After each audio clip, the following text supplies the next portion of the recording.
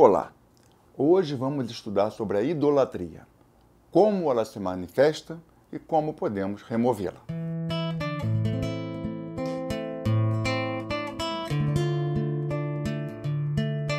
Chegamos ao anjo 56. E é interessante que ele fala de eliminar a idolatria. É um anjo de Capricórnio. Qual relação tem com Capricórnio? É simples, tudo é relacionado com tudo aqui, não tem nada que não tenha sentido.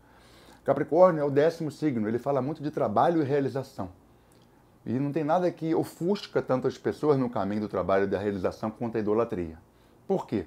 Idolatria, se você ler o texto bíblico como ele é realmente, escrito literalmente, você vai achar que é adoração às estátuas. Era como as pessoas falavam, pensavam antigamente. Sim, pode ser que sim, você criar uma estátua e acreditar que ela tem o poder de Deus é um tipo de idolatria. Mas o mundo moderno é bem diferente disso. Idolatria a dinheiro, a pessoas. Quando você acha que uma pessoa é o máximo porque ela é famosa de alguma coisa, isso é uma idolatria. É o máximo. Como? Se a pessoa também não nasce, não morre, não fica doente, tem momentos melhores, piores, somos todos assim.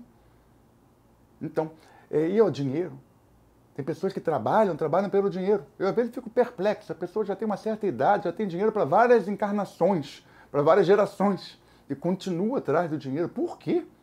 Isso é um tipo de idolatria. E fama, poder, então são objetos muito famosos da nossa sociedade. E objetos de idolatria. Significa o quê? Uma luz que não é a luz de Deus, é uma luz falsa. Sabe, como uma passagem de Moisés que tinha um teste lá. Então, a, luz de, de, de carvão, a luz de joias, por exemplo, de um ouro que brilha, essa é a luz da casca. A luz do sol a luz de olhos fechados, o divino aqui agora, essa é a luz de Deus. Idolatria é isso, é remover a necessidade de remover isso para poder enxergar uma luz maior.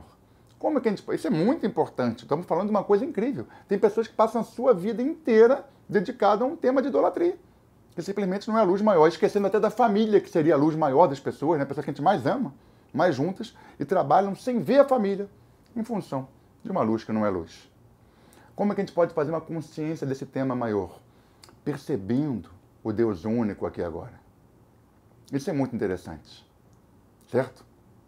A definição clássica de idolatria é confundir o receptor com o emanador. Quer dizer, você começa a achar que um objeto, todos nós somos receptores de uma luz maior chamada Deus, que chamamos assim. Você achar que algum desses receptores é Deus, não é. Seja qual for o homem ou mulher nesse mundo, nenhum pode ser do tamanho de Deus, do divino. Então a gente pode fazer essa consciência no aqui e agora, isso é muito profundo. Tirar esse monte de caixa. Cada anjo fala de um canal.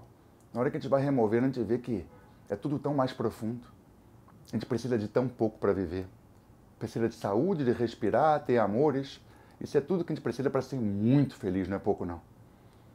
E o acesso quântico, esse tema que é tão profundo, são três letras. A primeira letra, lá da direita, é a letra P e eu vou ensinando aqui, mas também vou aprendendo junto. Eu fico perplexo quando eu vou revendo tudo isso, que eu passei décadas da minha vida estudando. Gente, como tudo se fecha. A letra P é a letra de Vênus. É a letra que fala de poder. Vênus fala da beleza, da sedução, de coisas bonitas da nossa vida, mas que também podem ser confundidas do lado negativo com o poder. E tão poucas coisas são perigosas na humanidade quanto o poder. Dê poder a um homem, você vê como muitas vezes ele se perde. Essa letra P, ela fala disso. Lembre que o verdadeiro poder não é seu, ele é só emprestado, como dizia José, de uma luz maior. A letra do meio é a letra Vav, que nos fala da necessidade de estarmos sempre de pé. Sim, no caminho da idolatria, muitas vezes a gente cai, é normal que a gente caia. Você pode assistir essa aula e falar: caramba, eu agora fiz uma reflexão, estou dedicando a minha vida a coisas que não são as mais importantes. Não precisa cair e chorar por isso. Esteja de pé, corrija e siga adiante. É esse que é o nosso papel. Você não precisa se martirizar também pelos nossos erros. É normal errar, mas também é normal corrigir e seguir adiante.